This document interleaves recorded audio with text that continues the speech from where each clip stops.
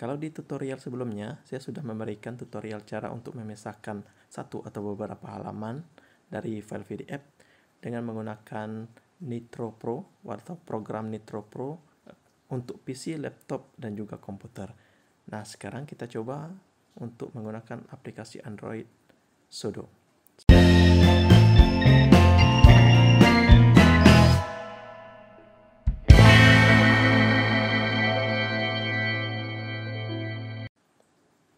Assalamualaikum warahmatullahi wabarakatuh. Selamat datang kembali di channel ini.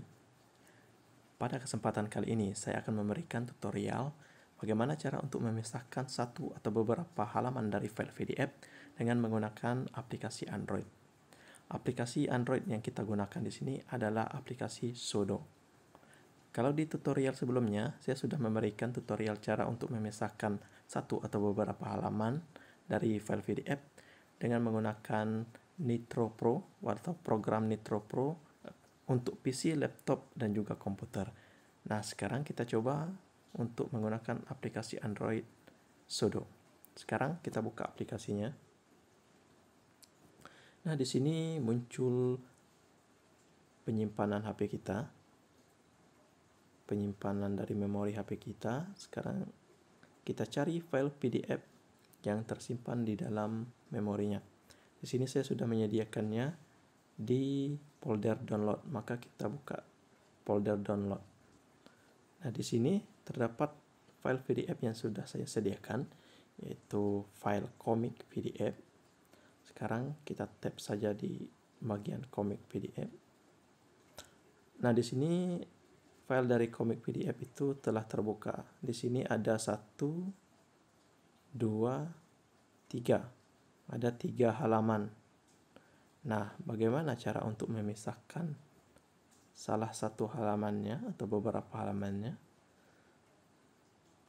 Jadi untuk memisahkannya, kita klik titik tiga di sudut kanan atas. Kemudian kita pilih Edit Page. Kemudian kita pilih pilihan yang paling bawah. Nah, di sini sudah tampil tiga halaman dari file PDF-nya.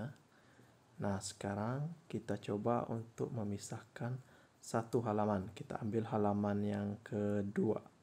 Untuk memisahkannya, kita tap di halaman yang kedua. Sehingga warnanya berubah menjadi kebiruan. Kemudian kita pilih, kita tap di titik tiga di sudut kanan atas. Nah, di sana kita pilih export.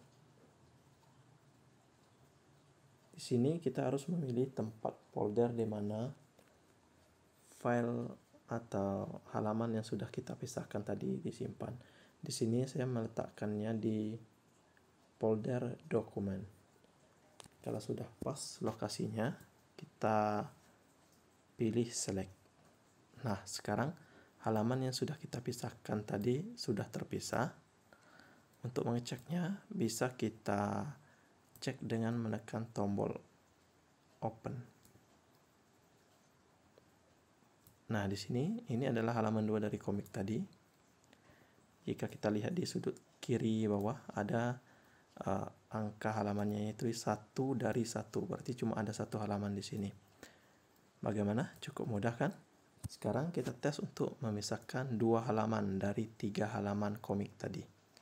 Di sini dia masih tiga. Caranya hampir sama dengan tadi. Kita pilih tab di titik tiga sudut kanan atas. Kemudian pilih edit page. Kemudian pilih pilihan yang paling bawah. Rearrange, import atau export. Di sini kita akan memisahkan halaman 1 dan 3 misalnya.